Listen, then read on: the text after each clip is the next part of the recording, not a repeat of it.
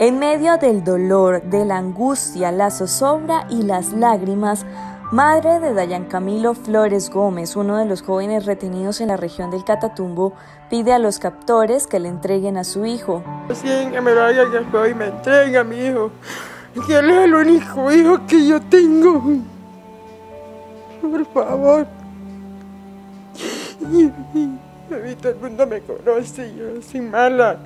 Yo no le he hecho daño a nadie, el mío estará pagando un servicio, nada más. Por favor, entrega mío.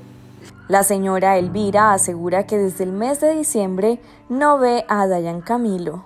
Desde diciembre, y él vino a pasar el 24 conmigo nomás, y con la familia, y yo no lo he vuelto a ver. Yo la estoy llamando y no me contesta el celular, por favor. Que me entrega, mijito.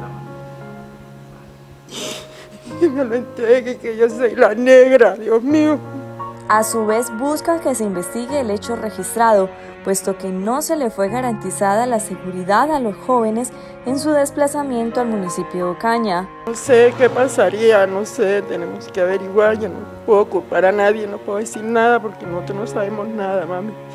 Lo único que sé es que vienen a mi Pero no sé quién lo tenga, el grupo que sea, que me lo entreguen, por favor, que no me le vayan a hacer daño. Elvira Flores envía un mensaje de esperanza a su hijo Dayan Camilo. Lo queremos mucho. Y Marta lo es todo, lo extrañamos. Jessica, todos. Y mi hijo muy lindo. Por favor. Él estudió acá, en, él es ocañero. Y mi hijo recibió grado acá y él se me fue, se fue a buscar trabajo y se metió a, pagar el servicio. Pero él no le hace mal a nadie. Él me, que él cuando iba a poder a trabajar para ayudarme a mí. Yo, yo lo que vendo es rifa en el mercado, yo no hago más nada. Y ellos me ayudan a mí aquí, por favor, a mi hijo.